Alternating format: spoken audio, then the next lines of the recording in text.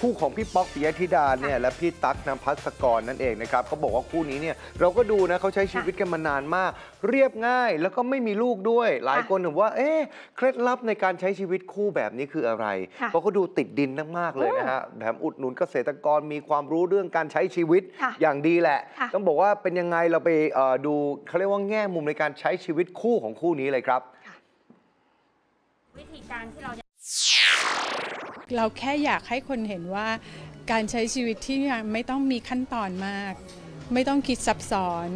รักกันดูแลกันรักกันอยากคุยอยากมอบสิ่งดีๆ ให้กัน ถ้าเรารักเขาเราก็อยากพูดดีๆกับเขาถูกไหมคะ เราจะต้องมานั่งคิดสลับซับซ้อนแล้วก็ดึงดึงเชิงว่าแบบฉันมีมามีมี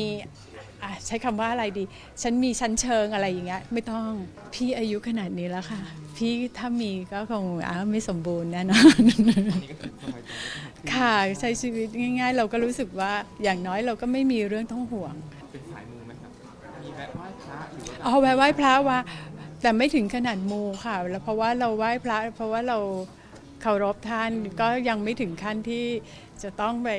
บนบานสารกล่าว เวลาไปบางบางวัดอย่างเงี้ยไปถึงแล้วแบบโอ้โหคนขอเยอะจังเลยอะแล้วเราจะอยู่ลำดับที่เท่าไหร่อะเราเกรงใจท่านนะแบบท่านแบบภารกิจวุ่นวายมากอะ